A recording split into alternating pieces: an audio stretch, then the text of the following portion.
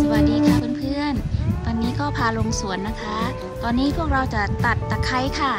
ค่ะการตัดตะไคร้นะคะ ก็ใช้กรรไกรนะคะรีดใบเขาออกก่อนแล้วก็ค่อยเอ่อเฉาะออกมาทีละช่อนะคะ ค่ะมาเริ่มลงมือกันเลยค่ะ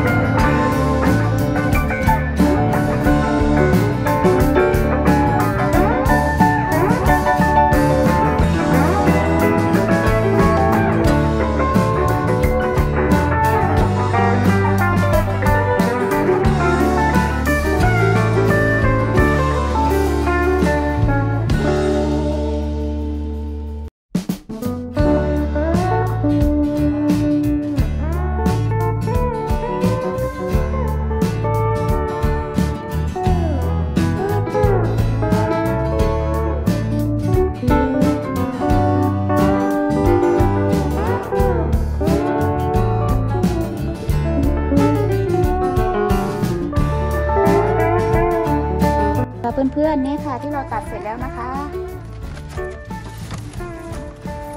ค่ะเราก็จะทำความสะอาดนะคะ แบบนี้นะคะเสร็จแล้วก็ล้างน้ำให้สะอาด แล้วก็จะแพ็คเข้าใส่ถุงนะคะ แล้วก็จะไปแช่แข็งนะคะค่ะก็ไว้ทานข้ามปีนะคะไว้ปรุงอาหารค่ะ ค่ะสำหรับวันนี้ขอบคุณมากค่ะ ที่รับชมให้กำลังใจค่ะฝากกดไลค์กดแชร์กดติดตามค่ะจะลืมกดกระดิ่ง เพื่อเตือนรับคลิปใหม่ ๆ ค่ะ เจอกันใหม่วิดีโอหน้านะคะ สวัสดีค่ะ บ๊ายบาย